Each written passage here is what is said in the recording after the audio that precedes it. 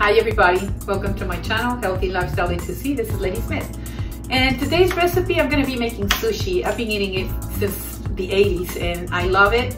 Um, 2004, um, I opened a sushi restaurant with a family. Today I'm gonna be making a recipe about how to make sushi. Um, this is very easy. You need to have your rice ready. And I already prepared my rice. So what you need is your rice and I can post a recipe uh, later on. It all depends what you want to put in it. So I've got the nori sheets, I've got the bamboo, I've got some cream cheese. I love cream cheese. I've got some cucumbers and I have some avocados. Let's start. So here's a list of ingredients. This makes four or five sushi rolls. You're gonna need your bamboo mat. You're gonna cover it with a plastic bag so the rice doesn't stick to the mat. For nori sheets or five. One cup short grain white rice cooked in two cups of water or you can make it with quinoa. Lobster imitation, crab imitation, or maybe shrimp.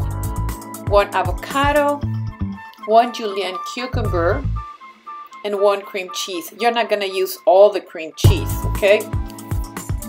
And then for your dipping sauce, I like making my sauce with cocoa aminos and one squeeze lemon. It all depends how many people and how, how much sauce you want to make. But I prefer this instead of uh, soy sauce. Place your bamboo mat in front of you. The bamboo sticks, they have to be horizontal in front of you so you can fold it. You're going to put your nori sheet, put the shiny part facing down.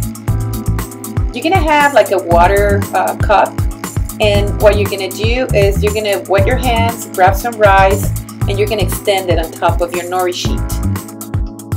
To go over the edge, because if not, if you do that, you're gonna have trouble folding it later and everything is gonna be coming out of your, your sushi roll.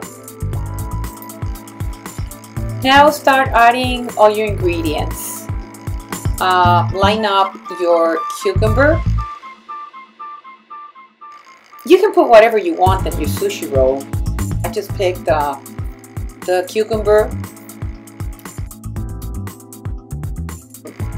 avocado. Your sushi roll has to have avocado. And I added the lobster imitation, but you can have crab or shrimp or whatever you want. And then what you're gonna do is you're gonna roll it and push down. Your mat always has to be on the top. Don't get it under your nori sheet. And then what you're gonna do, you're gonna tuck it. You're gonna put some pressure.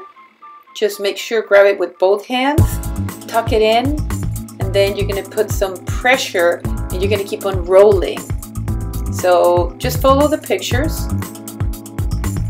Now it's ready to cut and you need a very sharp knife. What you're gonna do is you're gonna wet your knife because if not it's gonna get all sticky.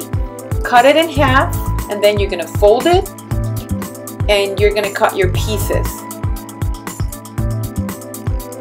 So you're going to cut again and then you just place them in a, in a plate. You make your dipping sauce with cocoa aminos and lemon juice and enjoy. I invite you to like, subscribe, and share with your friends and family. Next week's recipe is to be how to make sushi rice and I'm to make a California roll. Thank you for watching. Stay tuned and see you next time.